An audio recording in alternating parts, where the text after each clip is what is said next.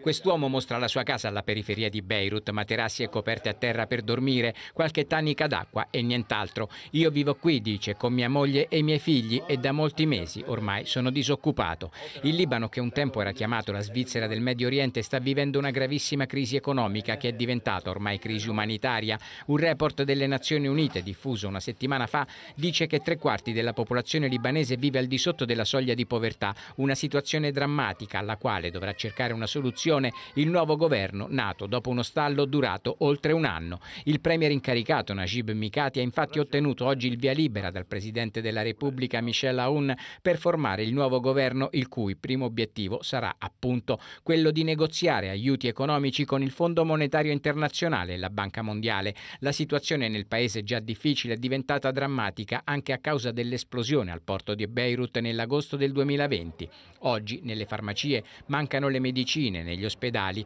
i farmaci chemioterapici sono introvabili, davanti ai distributori di benzina ci sono file interminabili, non c'è l'elettricità e dunque neanche internet, nessuno raccoglie più la spazzatura dalle strade e fuori da Beirut non c'è acqua corrente. Quella del Libano è una crisi che viene da lontano, da quasi due anni nel paese ci sono grandi proteste di piazza contro una classe politica ritenuta corrotta e inadeguata, accusata di aver portato il paese al default, una classe politica sempre uguale a se stessa, grazie a una divisione religiosa che si traduce in una rigorosa spartizione degli incarichi istituzionali.